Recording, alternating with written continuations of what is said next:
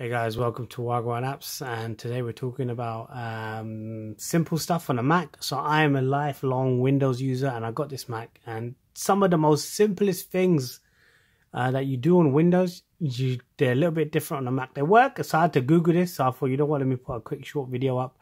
So we're talking about copy and pasting a text or anything like that. So on the Windows, it's Control C and Control V.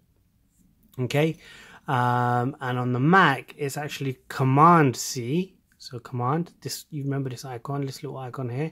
Command C for copy, Command V for paste, and actually to cut is Command X. So in, just to complete, all the only difference is the Command button and the Control button. So Mac is Command, Windows obviously is Control. Simple as that, nothing complicated. Catch you in the next one. Please like the video and sub the channel. Thanks.